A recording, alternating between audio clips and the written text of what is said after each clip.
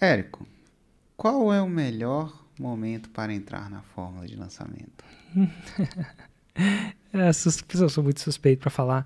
Hugo, o melhor momento para entrar na fórmula de lançamento é há cinco anos atrás. Segundo melhor momento? É agora. Porque você tem que começar essa jornada uma hora ou outra. Você vai plantar essa árvore quando? Mas assim, agora tem o pior momento. Qual? É amanhã.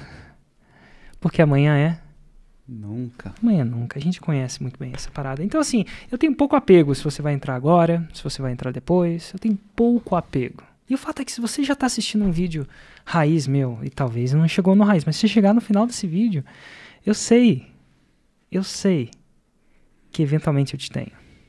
Eu sei que você pode. De repente, vai, umas pessoas demoram mais, outras menos, para ver aquela coisa. Outras pessoas vêm, mas demoram mais ou menos para ter coragem.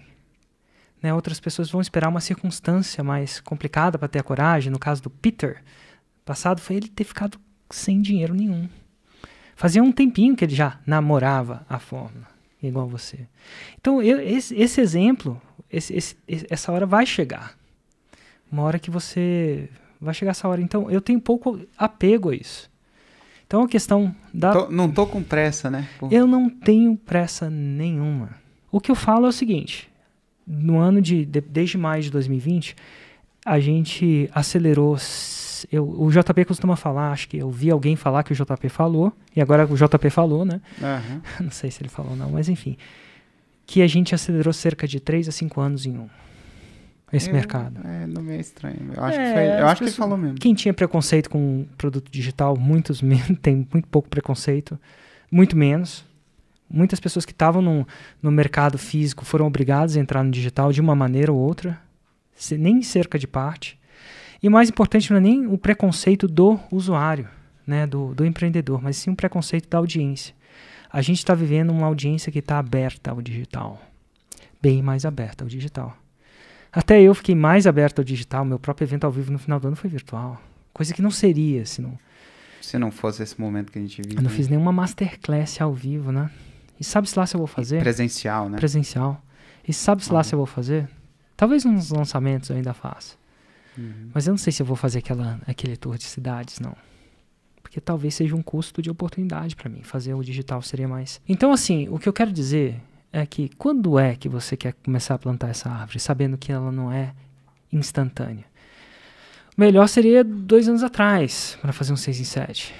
Cinco anos atrás, talvez para virar faixa preta né, em média. Eu não, eu não, tenho ainda essa média que eu não acompanho meus mentorados há tanto tempo assim. Ah, é. Então, eu sei que no ano passado 9% deles fizeram. Faixa preta, 2 milhões por ano, 39% 6 em 7, por aí. Tem uma galera que fez dinheiro, mas não fez necessariamente 6 em 7. Mas assim, eu não tenho essa pressa.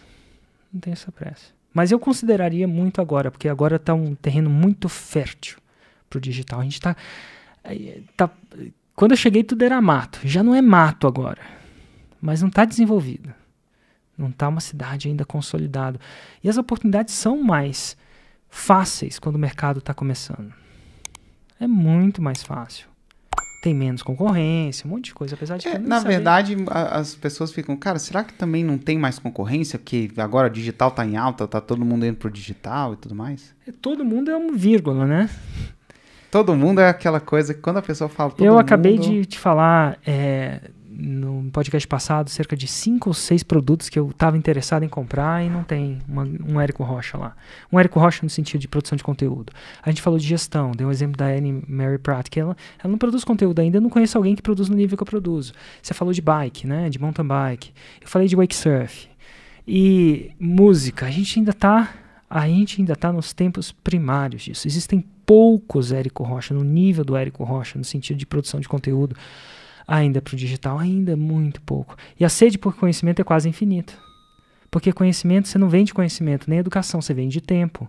E quando você passa um conhecimento para alguém, você economiza o tempo dessa pessoa na, naquela determinada ação.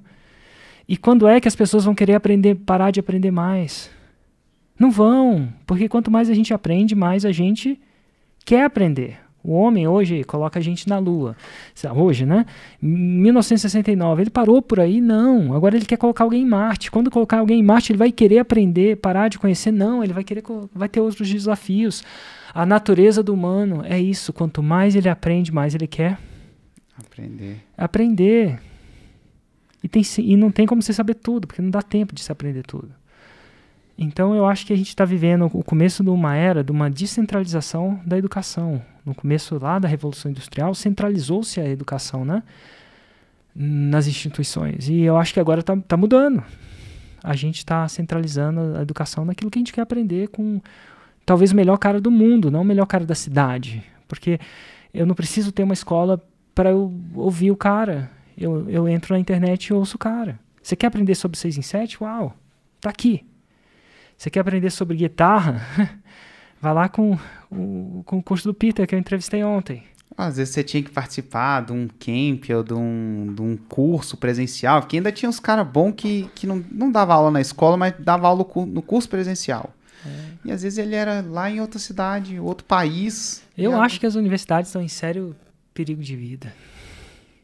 Antigamente era óbvio. Eu não sei se é um sério perigo de vida. No senti- eu não acho que no elas vão curto- acabar, não. não. no curto prazo, mas... Não acabar, mas eu acho que elas. hum, Tem muita gente que já não olha para a universidade como uma coisa tão óbvia. Eu sou um. não- Culpe-me ou não culpe-me, eu não faço questão. A não ser que seja para uma coisa que seja necessária. Sabe? Vai ser médico, ainda é necessário, né? Essa educação formal, mas para fazer seis em sete não é.